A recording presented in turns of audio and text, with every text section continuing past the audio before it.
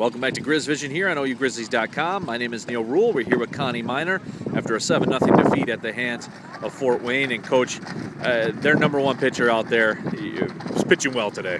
Yeah, she, you know, we, the good thing about that, we came out in the first inning and hit her hard. We drove two balls to the warning track.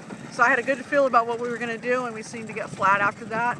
Um, we got some balls, made a couple mistakes, and they took advantage of it. They're a very good hitting team, hitting over 300 as a team, and we after what we did yesterday is disappointing. I know the girls are pretty disappointed, and maybe that energy we spent yesterday carried over a little bit. But that's just Division One ball. You got to be ready and prepared to play the next day. And I think maybe that we let that maybe interfere a little bit. But uh, you have to play very good ball against a very good team, and we didn't do that consistently today.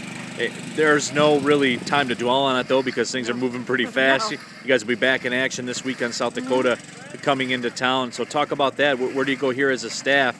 obviously it's disappointing what happened. You had it within your grasp yesterday. What happened today happened, but you got to move past that and move right along. No, we, have talked about it. I said learn by it. This, you know, was my talk with them. I said we came out strong first inning and we didn't really do anything after that. Uh, made a couple errors and then they hit the ball, so we never got it back. And so we talked about learning from that. Uh, I talked about how well they played the day before. That's what we got to remember, but we can't let this happen again. So we'll be ready to play um, if the weather permits us to play. We've got a big storm coming in, but they'll be prepared. It's they're learning every day. It's a tough way to learn when you played a team so well yesterday to let it end the way it did. But as long as they learn from it, I'm good with that. All right, coach. Appreciate the time as always. Thank you very much. Thank you.